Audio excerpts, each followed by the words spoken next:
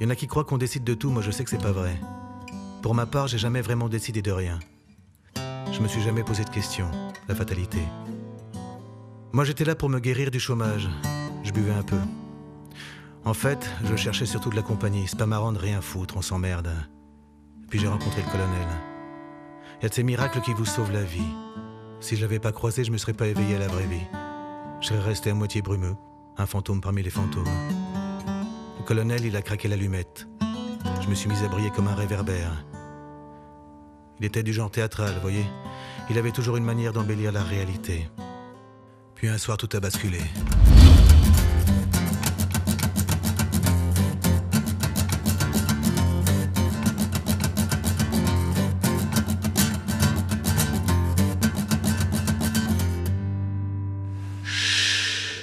C'est quoi un Mokhtar, colonel? Ça ne s'ébruite pas comme ça. Le grand secret.